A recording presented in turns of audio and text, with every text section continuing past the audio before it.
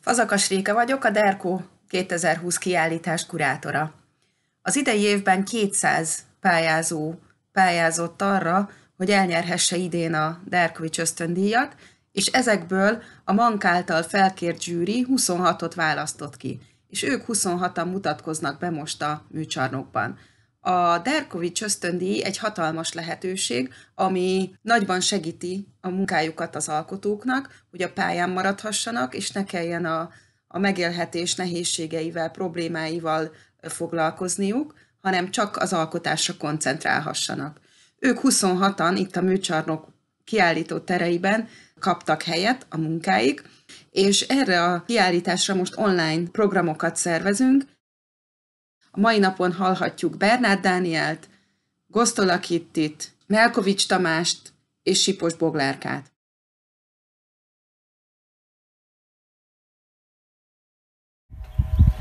Sziasztok, Bernát Dániel vagyok képzőművész.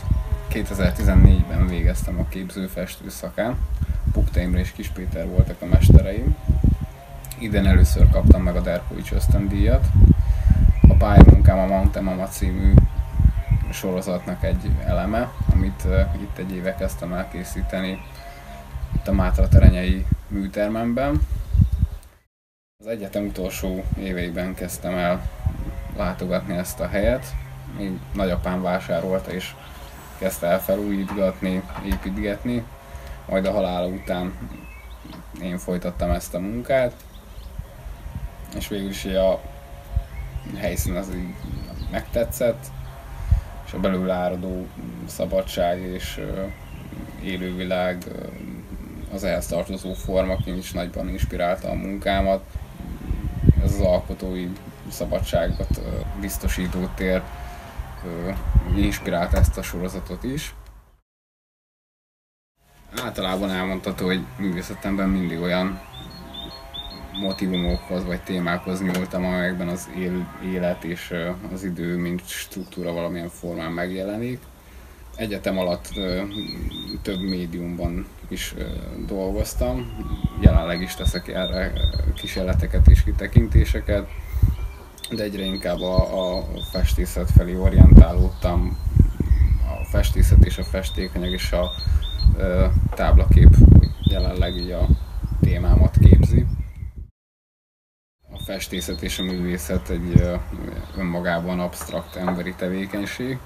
Ezzel a munkásságomon belül szeretném azt elérni, hogy ezt az absztrakt késztetésemnek, hogy én ábrázoljak, lefessek vagy alkossak képtárgyat, ezt valahogy feloldani egy okkal, indokkal, és a, a, a festékanyagnak az egyszerűsége számomra biztosítja ezeket a kereteket és egy lehetőséget arra, hogy ezt a belülről jövő absztrakt készítést valahogy feloldjam.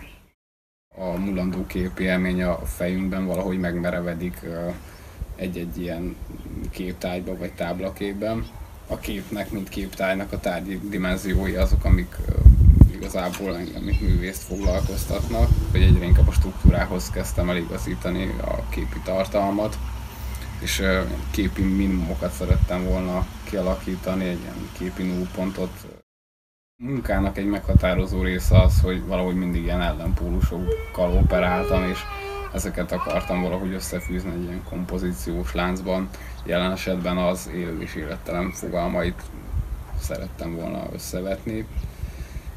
A korábbi organikus keretek vagy képek ciklusomban is. A jelenlegi Mountain Mama sorozat az ennek a továbbgondolása. Talán még meghatározó része az, hogy itt én idézem elő ezt a organikus jel vagy képi rendszer hatást, hogy a meglévő képszerkezetbe és vakrámának a léceit azt én hasítom ketté egy baltával, ezáltal olyan dolgokkal is operálok a, a képen belül, ami az én szerzői szándékomon kívül esnek, és ezeket a bizonyos karakterű és terjedelmű, hosszú léceket szerzem össze egy absztrakt kompozícióba később.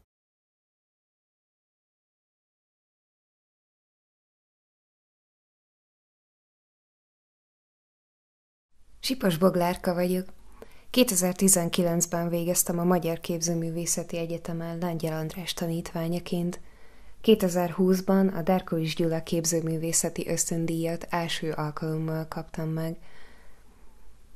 Az egyetem utolsó éveiben és az egyetem után többször hosszabb időket tölthettem Rómában szakmai vagy tanulmányi ösztöndíjak segítségével. A Derko 2020 kiállításon szereplő munkám is két ilyen időszak között készült el. Rómában elkezdtem egy gyűjtő és kutató munkát, amiben a kultuszhoz köthető tárgyiasulásokkal és ezeknek a képzőművészethez való viszonyával foglalkoztam. Ennek egy pontja az itt kiállított munkám, és a kutatást folytatom a jelenben, a, a gyűjtött anyagot pedig feldolgozom munkáimban. Munkáimban szentek képeivel, illetve mártírképekkel foglalkoztam, ennek is egy szűkebb csoportjával, ahol a történet elmesélője lényegében a mártíromságot elszenvedett testrészt. Három ilyen mártírképet dolgoztam fel. Ennél a munkánál a fometszet technikáját használtam fel szent képek reprodukálására.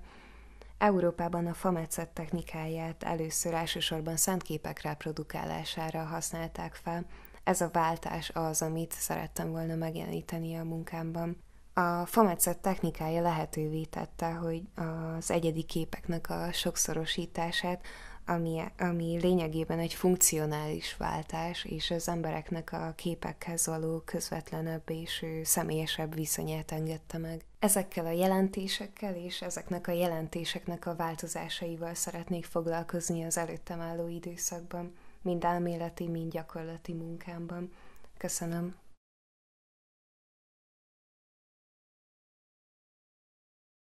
A Derkovics kiállítás rendezési munkáiról elmondhatom, hogy ugye most négy, a négy művészre koncentrálva, akik ma megszólalnak, hogy a Melkovics Tamás szobrászművésznek a munkái két különböző terembe kerültek, egymástól távol, hiszen formailag és a, az anyaghasználatot tekintve így tűnt harmonikusnak az elrendezés, míg a fa szoborcsoportja az a második terembe került, és a öntött vasból készült szoborcsoportja pedig a harmadik teremben kapott helyet, és ennek közelében találjuk Bernát Dánielnek a két festményét, ami ugye a baltával széthasított és szétvágott vakrámára feszítette fel a vásznat, és arra készítette a, a monokromszerű alkotásait, festményeit, Sipos Boglárkának, grafikai munkásságának a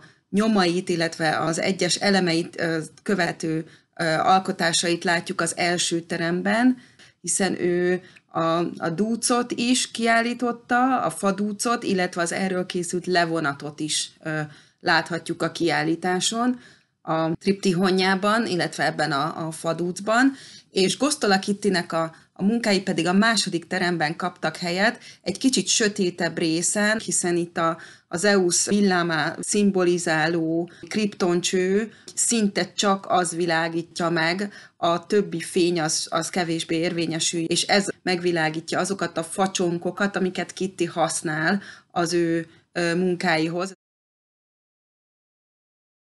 így állt össze ennek a négy művésznek a, a munkája, akiket ma hallunk, és akik ma bemutatkoznak a, az online programunk során.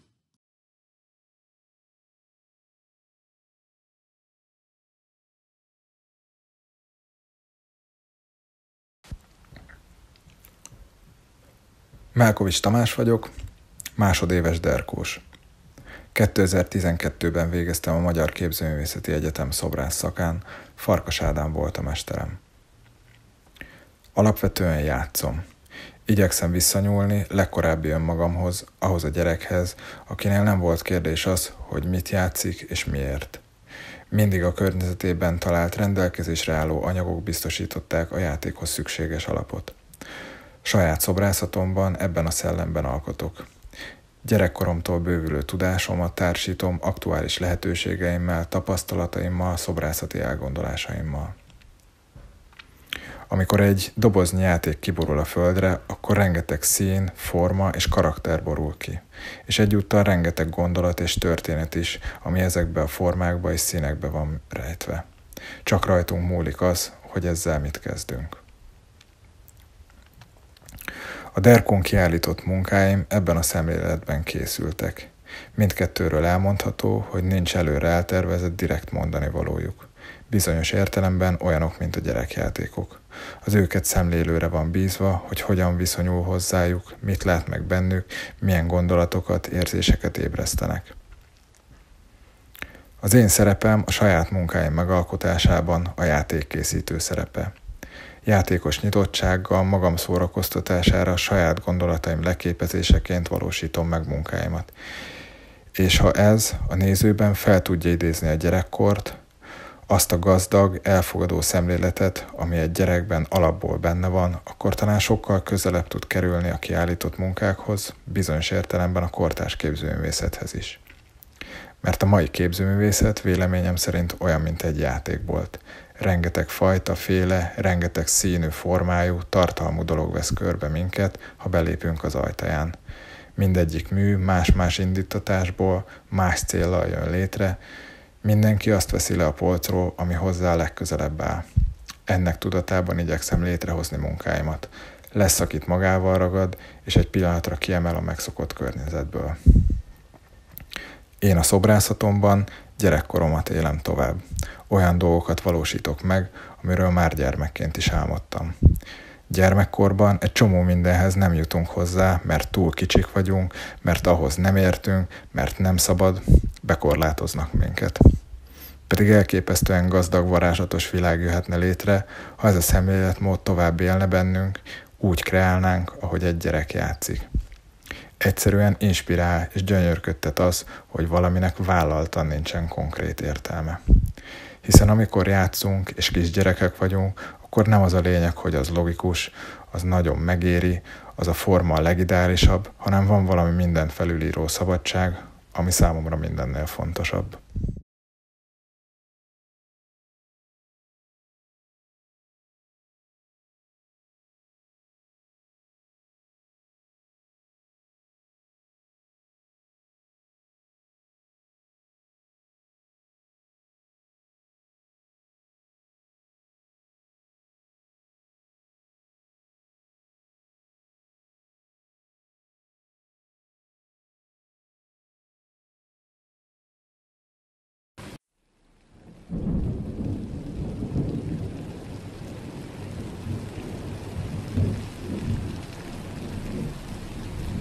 Az özönvíz után elvadult őseink áthatolhatatlanul dús lombkoronák alatt éltek, mit sem sejtve a végtelenről.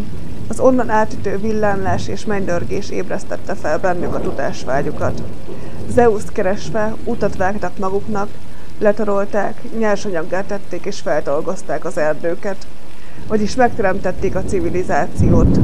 Legalábbis így érvelt a felvilágosodáskori itáliai gondolkodó, Giambattista Vico, az antik, a biblikus és a tudományos gondolkodás szintetizálva. A kivágott erdők azonban nem tűntek el teljesen. A görög bronzszobrok márványkópiái, majd a gliptotékák gipszmásolatai, az antik kultúra terjesztésének eszközei támasztékra szorultak, és ezt a támaszt a szobrászat a facsokban találta meg. A facsokok pedig időben önálló elemekké váltak, győzelmi pálmává vagy egy istenség sarutartójává.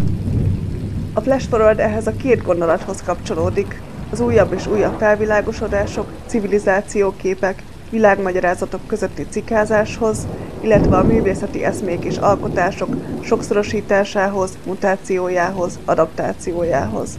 Teltőnek a híres szoboralakok, az atléta, a bortöltő szatír, a saruját kötő hermész, a kompozíciókból a facsonkok maradnak, a tudás ígéretének felfelvillanó fényét egy hatágú plazmacső vetíti rájuk, az antik villámábrázolások abstrakciójaként. Figurák csak a két tájkép parafrázison vannak jelen. Denis von Alszlott festményein Actaeon és Artemis, illetve Kefalos és Prokris erdei leselkedése, féltékenysége jelenik meg. Ezek nyomán készült sokszorosított heliografűr grafikáimon valami megváltozik, mint a hivacsúszott volna másolásba, a fák eltűnnek, a mitológiai vadászbalesetek sordrámája abszurdá válik a darra vágott erdőben. Engem leginkább a természettudományok és a képzőművészet viszonya érdekel, a természet mitológikus, ideológikus felfogásai. a különféle anyagok és eljárások materiális és metaforikus jelentéseinek összefonódásai. Úgyhogy gyakran kerülök kapcsolatba mesteremberekkel, tudományos intézményekkel, levéltárakkal. Most épp a Pannonhalmi Apátság természetrajzi gyűjteményével dolgozom, a Procariat Precariatio részeként pedig Fiumá és a Magyar Tenger és tengerkutatás képzelet világával foglalkozom. A képző Radák Eszter osztályába jártam, aki mindig támogatta ezt az attitűdöt, és most a Derkó második éve segít abban, hogy fenntartsam ezt a sok kutatással és kísérletezéssel járó munkamódszert. Úgyhogy a felesforward is kötődik korábbi munkáimhoz motivikus, tematikus vagy tágabb értelemben. Nem sokkal az egyetem után kezdtem azt a sorozatot, amely kábelvezetés miatt megcsonkított utcai fák egyediségére fókuszál. Ez a téma évek után tért vissza tavaly, amikor a kelet-szlovákiai Warhol turizmussal foglalkozva rekonstruáltam azt a kábelcsonkítás miatt kivágott Mikavai körtefát, amelynek legalább Warhol szüleihez volt valami köze. És olyan is van, hogy egy növénynek egy egész ország a táptalaja, a száműzött kosok torinói kertjéből származó kaktus sorsa, természet és ideológia szimbiózisa. A kultikus kaktusz sarjait minden sorsfordulónál megmentették, áttelepítették, multiplikálták. Ma három helyen nevelik, de ha az egész legendáriumot rekonstruáljuk, akkor egy kaktusz formájában összeállnak a magyar történelem útelágazásai. Olyan munkáimmal is összefügg a Flash Forward, mint a világ foszilis energiatermelésére emlékműve, amely a tavalyi Derkon szerepelt, és szintén a természeti erőforrások felhasználásának mitológikus, ideológikus alapjaira építenek azok a szobraim, amelyek háromkor három nagy bányászati szerzőjének kitermelési ábráját felhasználva, mint egy visszatöltik a nyersanyagot a természet öntőformájába. És ide kapcsolható a Wild Garden Utópia projekt is, amelyben Pálinkás Bencével a japán keserű fűvel foglalkozunk. A keserű füvet fényőző dísznövényként vezették be Európába, azonban annyira agresszívan és gyorsan terjedt, hogy ma már kiirtható kártevőnek számít. Mi pedig eljátszunk a gondolattal, hogy mi lenne, ha valamiért rászorulnánk, ha ismét értékessé válna. Több irányból vizsgáltuk már a kérdést.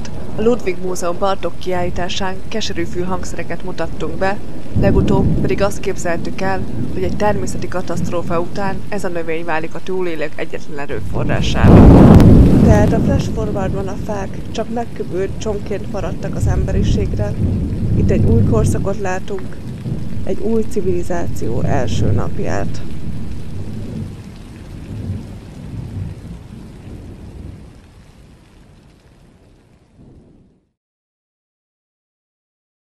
Mai online programunkon a négy képzőművésznek a Derkón való megnyilvánulását láthattátok, illetve az ő bemutatkozásukat. Nagy szeretettel várunk mindenkit a műcsarnok honlapján, a virtuális sétán, ahol meg lehet tekinteni a teljes kiállítást, illetve ez a Facebook oldalon is megtekinthető. Kövessetek minket csatornáinkon, és nézzétek a, a további online derkus programjainkat és a műcsarnok egyéb online programját.